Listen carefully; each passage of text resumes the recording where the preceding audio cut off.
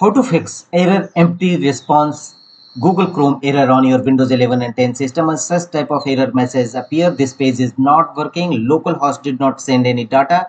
Error empty response. And if you are also facing such type of error message on your browser screen, then you may try new incognito mode Windows may. And if this mode is also not working, then go to the next fixes and the next one is click on three vertical dot from the top right corner of the Google Chrome page and here go to settings. From the left side choose privacy and security. Click on it and here you will find the option clear browsing data clear history, caches and browsing data may be helpful to fix various type of Chrome error. Go to advanced tab and make the check against option browsing history, download history, cookies and site data and cached images and files.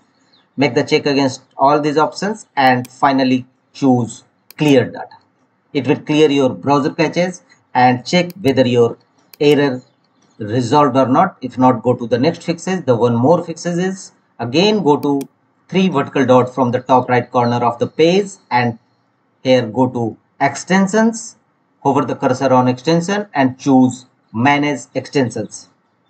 As a one-time measure disable all the extensions added to your chrome browser.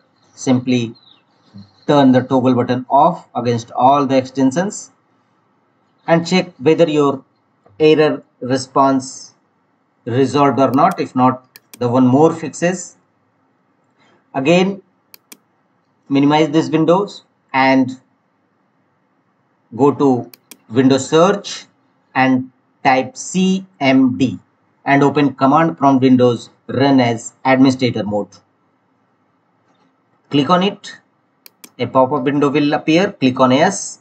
And in command prompt windows execute the following command as shown on a screen this will IP configuration release, IP configuration all, IP configuration flush DNS. It will clear your DNS caches, IP configuration renew, and IP reset, IP set DNS and WinSock reset. All these six command execute one by one in command prompt windows followed by enter key on each time. Wait for some times and once the all commands successfully executed on your system then don't forget to restart your system.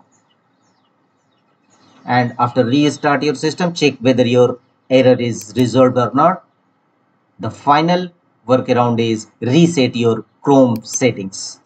Again launch google chrome browser on your system. Click on three vertical dot from the top right corner of the chrome page and choose settings